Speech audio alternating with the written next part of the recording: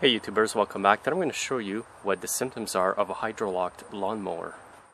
First of all, let me explain what I mean by hydrolocked. What that means is that too much oil has gotten between the head here inside the cylinder and the piston. Now there's so much oil inside the cylinder between the piston and the head here that there's no room for the motor to turn at all. The piston cannot even go up the cylinder because the oil is stopping it from going up. One of the symptoms is that you're going to see a lot of oil coming out of the muffler and there it is right there. And the other symptom is that you won't be able to crank it over. In this case here it does turn a bit, but barely, and it's really hard to turn over.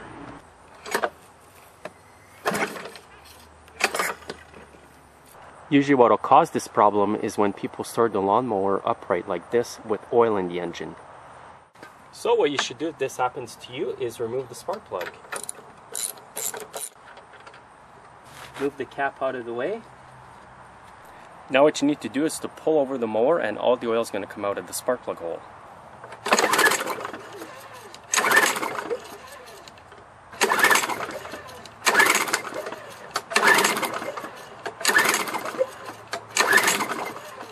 And as you can see there, there's more oil coming out of the muffler. That's a good sign. That means it's draining itself. And I'll just repeat that process until you think you've removed all the oil from the engine.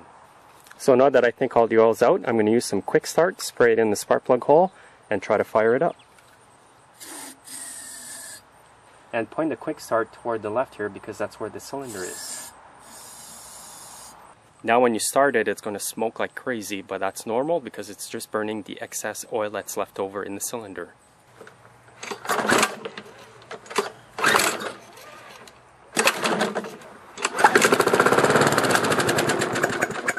Actually, at this point, I'm going to spray the quick start inside the carburetor.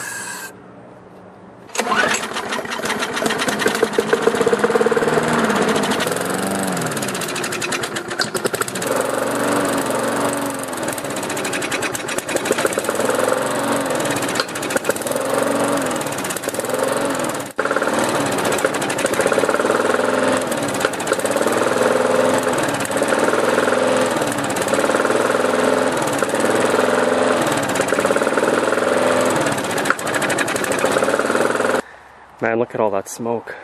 That's crazy. That's all the oil burning up.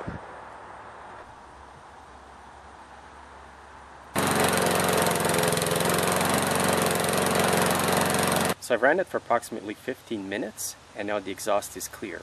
So I'll give it a start just to show you that the exhaust is cleared up.